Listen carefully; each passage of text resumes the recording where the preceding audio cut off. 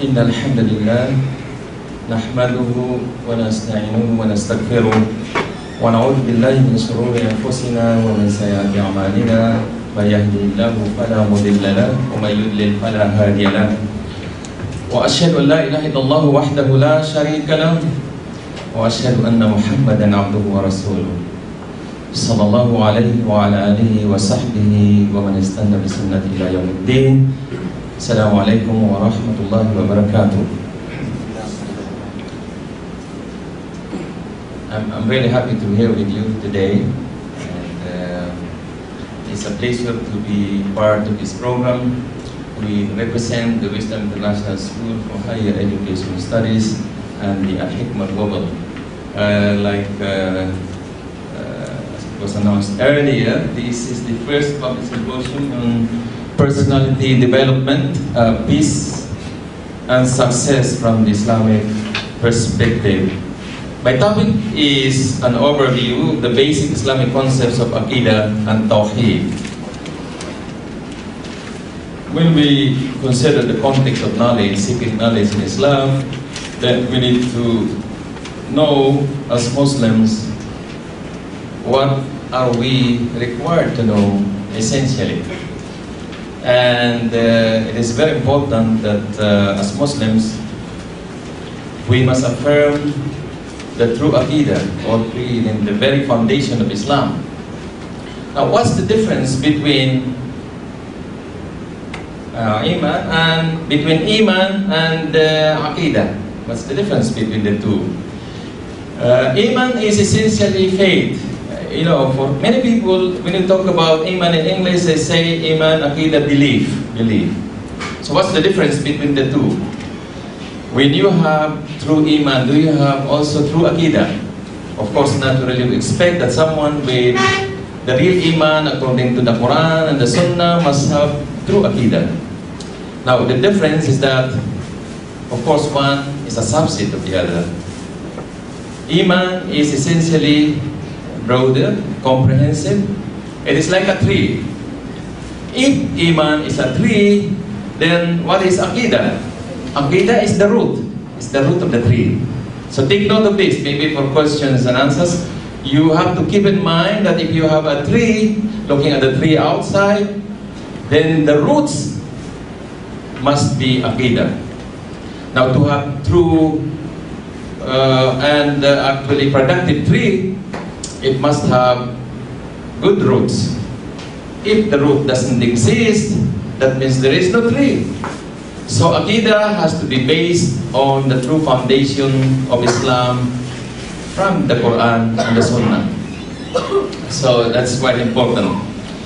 The Quran and the Sunnah, or rather the prophetic traditions, clearly assert that the true creed is to believe in Allah, His angels, His books, His messengers, the last day, Al-Qadr, and these are what you call the six articles of faith in Islam, Arkanul, Iman, articles of Iman, and this constitute the basis of the true creed, true Aqidah, with which Allah sent His book and with which He sent His Messenger Muhammad sallallahu alayhi wasallam. Now these articles also include all aspects of Al-Ghaib, the unseen world, in which a Muslim must believe and uphold. They also include all that which Allah and His Messenger have informed us. The evidence of this come from many verses of the Quran. Now, when you look at Aqidah, one basis is verse 285 of Surah Al-Baqarah. أعوذ بالله من الشيطان الرجيم. آمن الرسول بما أنزل إليه من ربه والمؤمنين. والمؤمنون. I think uh, our students at basis know this very well. آمن الرسول بما أنزل إليه من ربه والمؤمنون. كل آمن بالله وملائكته وكتبه ورسله. لا نفرق بين أحد من رسله. وقالوا سمعنا وأطعنا غفرانك ربنا وإليك المصير The messenger believes in what has been revealed to him from his Lord, as do the believers. each one of them believes in Allah, His angels, His books, and His messengers. They say, we make no distinction between one another, His messengers. Uh, this is the message of Aqidah. Aqidah in Islam is to have true, to affirm true belief in all this that we mentioned. This is also in the Sunnah, in the Hadith, and that this must be done for Muslims. You must always keep in mind Sami'na wa ta'na. When we hear, we obey. So what does that mean? As mentioned earlier by the first speaker, Ahmad, that we have to, of course, value our time, we have to be serious in life. We have to seek knowledge. And what we learn, we translate that into action. So like a tree, you have the roots, you have the tree all over as the iman, you have the roots, you have the trunks, you have the seeds, you have the you have the fruits. Now the fruits of the tree from an Aqidah point of view are what? These are the deeds, these are the actions. Now Islam, Aqidah will be meaningful only when we translate our knowledge, our belief, our creed into action. من عمل صالحا من ذكر أو أنثى وهو مؤمن فلنحيينه حياة طيبة ولنجزينهم أجرهم بأحسن ما كانوا يعملون. So you find that when you talk about Aqidah, Aqidah will not be meaningful unless we translate this into action. Man ahsanu qawlan mimman da'a ila Allah wa amila salih wa qala innani minal muslimin. so in fact, when you talk about being Muslim, it is always important that we say, we hear, and we obey. This is so important that in Islam, it is not just learning, it's not just seeking knowledge, it's not just having belief in the Arkanul Iman or Arkanul Islam, but we must make sure that our what we believe in we must put these things into action. And this is what is missing in the Islamic world today. Because what's happening is that when we say man asana, qawla miman da'a ila Allah wa min salih wa qala innani minal muslimin. Now, take a look at this. Man asanu qawlam mimman da'a ila Allah. Who is better in speech than the one who does dawa, who conveys the message of Islam? Man asanu qawlam mimman da'a ila Allah wa amila salih. The condition that you do righteousness. Without that, you know, speaking for the sake of speaking, this is what Allah hates. Allah says, what does Allah say in the Quran? Allah hates lima taquluna ma la taf'alun. Kabura maqatan Indallahi an taqulu ma la taf'alun. Allah hates that you say something and you don't do. So in the case of Aqidah, if we say La ilaha illallah, do we sincerely believe in this Shahada or Shahadatain?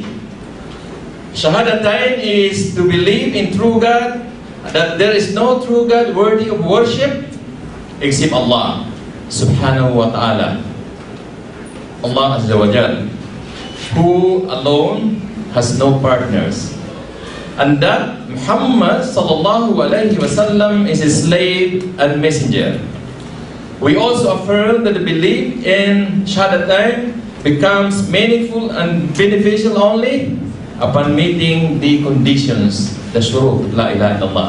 Now, when we talk about knowledge, do we know the shurut of La ilaha illallah, the conditions for this La ilaha illallah to be accepted? I'll, I'll give you.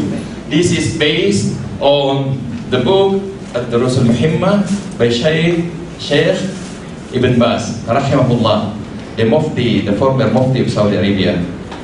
And of course, these conditions in brief, in a nutshell, you have knowledge as the first lecture. You must have true knowledge of Allah, and you must have true knowledge of the meaning of La ilaha illallah. And of course, having that knowledge, that will knowledge that will negate ignorance. Certainty, al-yaqeen. Now this has to do with aqidah again. Certainty. You must be certain that what you believe in is right and that you will not compromise. You will not compromise.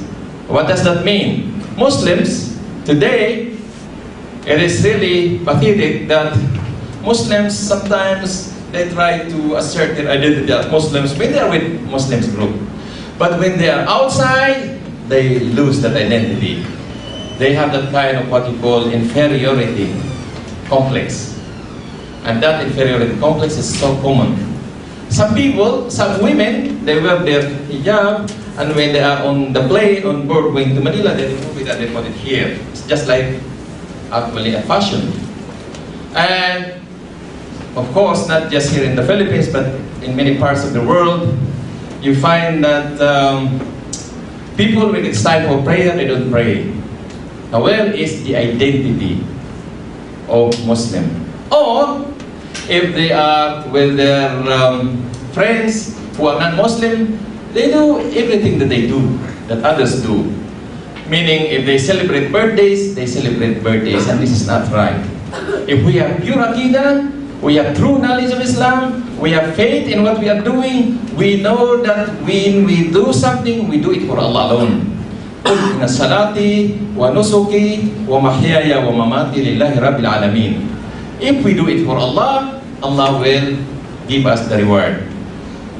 And that reward will be paradise, of course. By the same token, declaring Muhammad Rasulullah will be meaningful and beneficial only upon meeting the following conditions. So there are the shurut of La ilaha illallah, also there are the shurut of Muhammad Rasulullah. Now, do we know the of La ilaha illallah? If we don't know, this is a challenge to all of us to continue learning, because learning is a continuous process. First, we must affirm the prophethood of Muhammad sallallahu alaihi wasallam, and having faith inwardly within the heart. Aqidah is within the heart. It must come from the heart. And it must not be changing. It must be firm. We must affirm that what we believe in is right according to the Quran and the Sunnah, believing in Allah and believing in the Prophet Muhammad. Verbally declaring it and affirming outwardly through the tongue. Following the Prophet Muhammad by acting upon the truth and refraining from evil that, has, that he has forbidden believing in what he has informed about from the unseen of the past and the future, and loving him more than oneself, well, children, parents, and the whole of humanity. That we have to love Muhammad if we really believe in Muhammad Rasulullah. Giving precedence to his saying over everybody and acting upon his sunnah. So, in other words, it's not a joke. It's not a joke. When we say that we actually believe in Muhammad Rasulullah, it means translating La ilaha illallah into action, and that action has to do with doing everything that is sunnah. That is sunnah, according to the tradition of the Prophet Muhammad We also believe as Muslims in all the prophets, and we believe, especially for those who are studying in Christian colleges and universities, you must always keep in mind that to have true Aqidah, you must also believe, you must tell others when you do dawah, that you believe in all the prophets and that you believe in Jesus, alayhi salatu wassalam, as Allah's slave and messenger, and His word is true to Mary. And we also believe that paradise is true and that hellfire is true. We also believe in resurrection after death we believe that both the last hour and the day of reckoning are true and shall certainly come to pass, and that Allah subhanahu wa ta'ala will resurrect all those who lay in their graves to be judged in account of their deeds. Now, there are so many things that we need to learn about Aqidah. And of course, the very foundation of Aqidah is Tawheed. Uh, what is Tawheed? Tawheed is what? Yeah, to single out Allah. The definition of Tawheed is that to single out Allah in terms of worship. The proof of this is Allah saying, وَأَعْبُدُ اللَّهَ وَلَا تُشْرِكُ بِهِ شَيْئًا Worship Allah and associate, associate nothing with Him. Of course, we know the very uh, foundation, the Surah Al-Ikhlas, uh, mashallah, we have of our students at Oasis, I know you all know this. أعوذ بالله من الشيطان الرجيم بسم الله الرحمن الرحيم قل هو الله أحد الله الصمد لم يلد ولم يولد ولم يكن له كفوا أحد Says Allah, the one, the self-sufficient, the besought of all, the besought of all, what else? He begets not, nor is he begotten. Says very good. And that there is none comparable to him. None is comparable to Allah. So when we say ikhlas as one condition of la ilaha illallah, what does it mean? It negates shirk. You believe in ikhlas sincerely, meaning that you adhere and you affirm that Allah alone deserves worship and no one else. Now, what are the categories of Tawheed? Tawheed al-Rububiyyah, Tawheed al-Uluhiyyah, yeah, Tawheed Asma wa Sifat, mashallah. So we are actually just trying, this is just a kind of reminder for many of us, but we invite others really to go, go deeper into this. Uh, and just a little. Of course, when we talk about Tawheed and we say that our Aqidah must be based on the Quran And the sunnah, there was a point raised by the uh, master of ceremony, why are we created? وَمَا خَلَقُ الْجِنَّ وَالْإِنسَ إِلَّا يَعْبُدُونَ MashaAllah.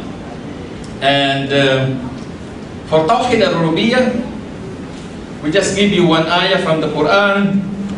It says, إِنَّ رَبَّكُمُ اللَّهُ الَّذِي خَلَقَ السَّمَاوَاتِ وَالْأَرْض فِي سِتَّةِ أَيَّامٍ ثُمَّ اسْتَوَى عَلَى الْأَرْشِ يُغْشِي اللَّيْلَ النَّهَارَ يطلبه يطلبه حثيثا والشمس والقمر والنجوم مسخرات بأمره ألا له الخلق والأمر تبارك الله رب العالمين Indeed, your Lord is Allah who created the heavens and earth in six days and then established himself above the throne. He covers the night with the day, chasing it rapidly. And he created the sun, the moon, the stars, subjected by his command. Unquestionably, he is his is the creation and the command. Blessed is Allah, the Lord of the Alameen. Now, this is one base or one basis of what you call Tawheed al-Rububiyyah, belief in the oneness of Allah's lordship of the universe. Now, who does not believe in Tawheed al-Rububiyyah? Let me ask you one question. Does Shaitan believe in Tawheed al-Rububiyyah? Now, he's yes and the other say no. Now, when we have this ayah in the Quran, for example, كمثل الشيطان إذ قال للإنسان كفر فلما كفر قال إني أخاف الله رب العالمين أخاف الله رب العالمين I am indeed afraid of Allah the Lord of the universe That's, I don't know, let me pose the question again Does shaitan believe in Allah as the Lord of the universe? Yes. Okay, good. Very good. So this is part of probably one question later or maybe sometime before um, uh, October. By the way, October is coming close and we have some kind of uh, Eid al-Adha. I think you know that after Eid al-Fitr, after Hajj, day of Arafah, on the 9th of Dhul Hijjah, then 10th you have Eid al-Adha, and then we may have some program at WISHES and please try to study more. We have some kind of questions and answers and there will be some kind of test for the students particularly, but others are also welcome to join. So we may give you some kind of uh, gifts, inshallah, or prizes. Yes. Tawheed al-Uluhiyyah.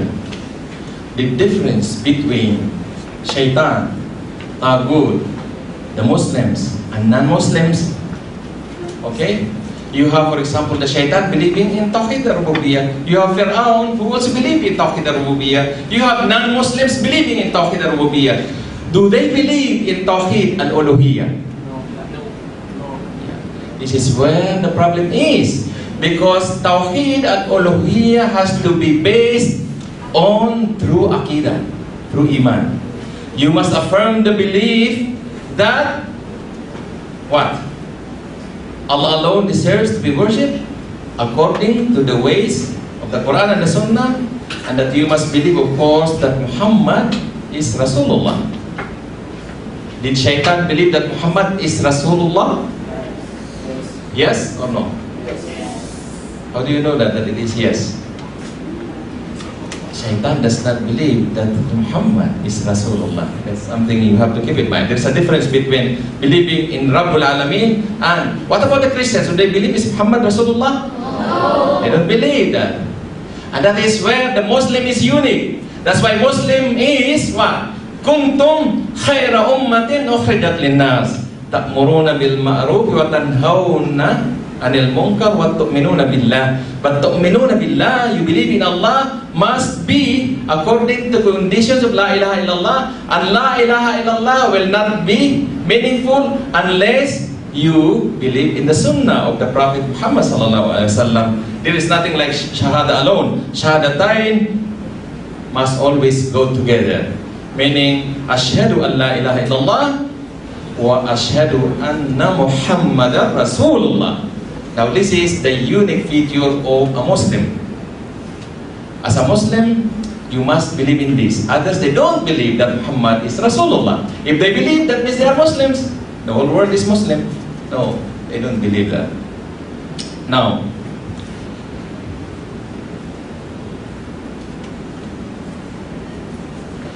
Tawheed Asma wa Sifat. What is Asma wa Sifat? names are not revealed, mashallah. Now, I think everybody here knows this uh, uh, Ayatul Kursi. Allahu la ilaha illa huwa al-hayyul qayyum la ta'khudhuhu sinatu wa la nawm lahu ma fis samawati wa ma fil ard man dhal ladhi yashfa'u indahu illa bi idnihi ya'lamu ma bayna aydihim wa ma khalfahum wa la yuhituna bi shay'in min 'ilmihi illa bima sha'a wasi'a kursiyyus samawati wal ard ولا يؤود حفظهما وهو العلي العظيم Now here you see the attributes the, sif the sifat you know and asma the names of Allah asma wa sifat these are unique to Allah alone these are unique to Him. Allah has perfect attributes. Now, when you talk about Allah's attributes, like for example, knowledge, is there anyone having perfect knowledge other than Allah? What about the prophets? Do they have perfect knowledge of the universe? Okay, that means Allah alone is perfect. So this asma wa sifat entitled God to be God, to be Allah. No one is worthy to be worshipped because they don't have these attributes. For example, to be forgiving. Are we forgiving? Sometimes, okay. Well, what about Allah? Is Allah forgiving? Yes. Is there a limit to His forgiveness? Now, there is no limit to His forgiveness. Now, this is something very important for you when you talk about Aqidah. What is it you know very well that the Prophet Muhammad will be interceding in the day after. What is it that limits the intercession of the Prophet Muhammad This is an Aqidah issue already. What is it that limits the Prophet Muhammad in terms of intercession? I'll give you one hint. ما كان للنبي والذين آمنوا أن يستغفروا للمشركين ولو كانوا أولي قربى من بعد ما تبين لهم أنهم أصحاب الجحيم What does that mean? Does it mean that, for example, the father of the Prophet Muhammad, the Prophet himself can intercede on his behalf so that his uncle Abu Talib or his father Abdullah will go to paradise? So that's the limit. That's the limit. The prophets, they cannot intercede when it comes to the issue of shirk. Shirk is a major, is a major nullifier, invalidator of Islam, and I think this is one major subject of the next topic. When you talk about the attributes of Allah, something that you must always keep in mind. ليس كمثله شيء وهو السميع البصير. One way to have a good firm Aqidah is always to keep in mind that anything that you can imagine is what? It's not Allah. Anything that you can imagine in your mind, Allah is above that. لَيْسَ كَمِثْلِهِ شَيْءٌ Okay? In other words, anything, Allah is not anything that you can think of. Okay? Because Allah is above that. And in fact, the price of all of us, if we are lucky, is that in the day after, that is time for you to see Allah. And that's also part of Ilmul Ghaib. Part of our Aqidah is that if we are good enough, we will be able to see Allah subhanahu wa ta'ala. And that should be our goal. If we go to Jannah, Jannatul Naim, Jannatul Firdaus, inshallah we see Allah subhanahu wa ta'ala. And that's the time for you to really rejoice because you will see Allah. Part of our examination is that we only know the asma wa sifat of Allah subhanahu wa ta'ala according to the descriptions in the Quran and nothing more than that. That's why when it comes to Aqidah, we don't follow the so-called philosophers of Islam. Those who actually buy the idea of ilm al-kalam because this is not right because Islam has its own clear textual references from the Quran and the Sunnah telling you who Allah is and who Allah is not. So it's very, very important that when we discuss Tawheed, we do not go beyond what is written there. When we say that Allah says, establishes Himself on the throne, above the throne, or even the question, where is Allah? What is the answer? Where is Allah? Okay, mashallah, that's very interesting. Now, you don't go beyond saying that Allah is in heaven, for example. You don't say, how does he, he is he lying down? Is he sleeping? Is he working or whatever? You don't go further and ask those questions. And this is a problem with the philosophers. That's why philosophy has no basis in Islam. It is not right to philosophize Islam, and this is very, very important we try to learn from the original authentic sources, the Quran and the Sunnah. I would really prefer that um, we discuss more about this if you have questions and answers. I have lots of things written here. But something very important from the hadith is that when you worship Allah, it must it must not be for show. It must be done. You see, if you have, what are the three levels of, of Iman, for example? Or uh, three levels uh, of Islam. As a Muslim, what are the three levels that you must go through? First, Ihsan is what? Is the highest level or the lowest level? Highest level, and then you have Iman, yes, and then Islam, mashallah. Now, for the ihsan, what is ihsan? An ta'budallaha ka'annaka tarahu fa lam takun tarahu fa innahu yarak. Okay, mashallah. In other words, if you worship Allah as if you see Him, and of course you don't see Him, like I said, anything you can imagine, that is not Allah. Since you cannot see Him, always keep in mind that Allah is seeing you. What about the issue of Allah is everywhere? Is Allah everywhere? Yes, uh, why did you say He's everywhere? MashaAllah, you see, our students are very smart. So others, they say, no, Allah is not everywhere. Physically, He is not. But according to Islam, He is everywhere in terms of His knowledge. MashaAllah. That's a very smart answer. Okay? Allah is everywhere in terms of His knowledge because His knowledge is perfect he knows the past, the present, and the future. MashaAllah. It's only Allah who is entitled to perfect knowledge. And mashallah, this is very interesting. We really congratulate our, our students for you have all correct answers. Yes, uh, inshallah, we will um, talk more about this. I think if we have the open forum, that is better. And for now, I encourage all of you to to also We'll make some announcements about Al-Hikmah Global later. I think it's not the time yet to make that announcement. But we encourage you to learn, and the basic knowledge that you must learn is the knowledge of Allah and knowing Arkanul Iman, Arkanul Islam. These are the basics, and these are the things that will increase your Iman and the basis of true Aqidah in Islam.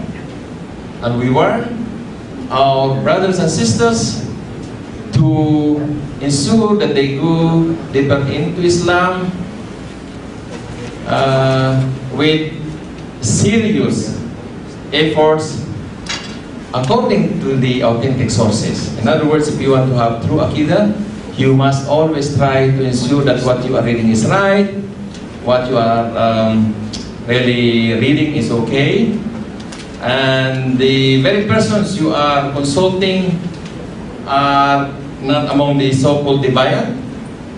You know, there are so many versions of Islam nowadays. Uh, the Prophet Muhammad told us that, you know, for the Muslims, so-called Muslims believers, they will have 73 and only one will be saved, and those who will really be applying the Quran and the Sunnah, and that's very, very important. So the question all the time is that when you hear something, do we have a basis for that? It's easy if you have true Aqidah, inshallah, you will never get lost. And that's very, very important. We invite all of you to seek knowledge, uh, especially the knowledge of uh, Aqidah, Tawheed, uh, Iman, inshallah, and apply this into action, share it with others. أقول قولي هذا واستغفر الله لي ولكم والسلام عليكم ورحمة الله وبركاته